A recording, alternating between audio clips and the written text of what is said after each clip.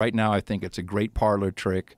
I think it's keeping the stock market afloat. Um, you know, they run the Llama model, which is uh, Meta, and it's not very impressive. I had a conversation with Elon. We went to, uh, we were in line together to go to church the day of the inauguration. It just happened to be right next to him.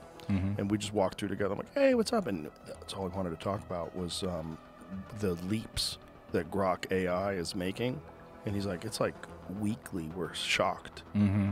And I think this thing is exponential.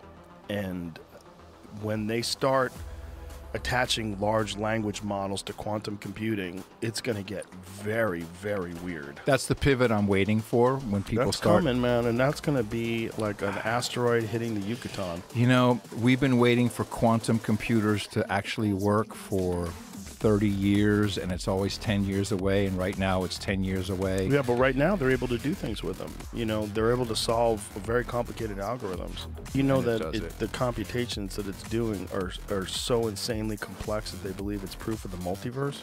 Yeah, I've heard this. Yeah.